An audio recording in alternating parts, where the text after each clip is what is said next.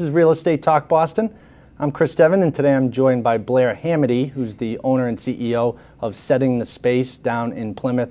Now, Blair, I'm sure you come across this question all the time as well, which is, you know, I have a budget to work with. Can you work within my budget and stage my home? All right, so first of all, what's your budget? You know, it's always a scary thing to hear what is my budget and can you work within a budget? But the truth be told, we can work within a budget. Now, staging is a lot of different things, okay? When we go into a house, we're preparing it for resale, right? And we're going in there and we're going to evaluate.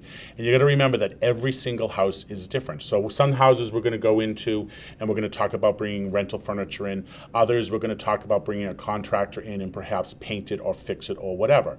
So if you think about it logically, we can work on any budget.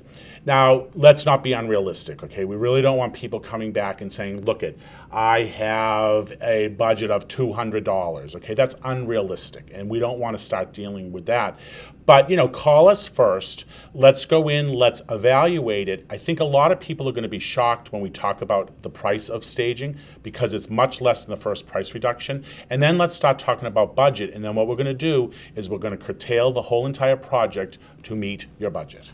You just hit a very important point that the, the price of staging is less than the first price reduction. Yeah, and we have to let everybody understand that because after the house has been on the market for whatever, three weeks, four weeks, the realtor is going to go back at them and they're going to say, we now have to reduce the house by X amount of dollars. And again, if they stage the house, the staging will cost less than the first price reduction. It's your favorite line. It is. Great information, Blair.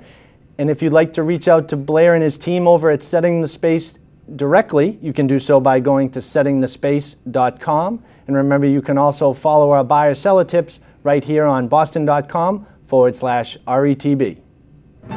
Tune into Radio BDC Sunday mornings at 7 to hear Chris Devin and his guest list of top notch local real estate professionals deliver the timely truths of the greater Boston real estate market.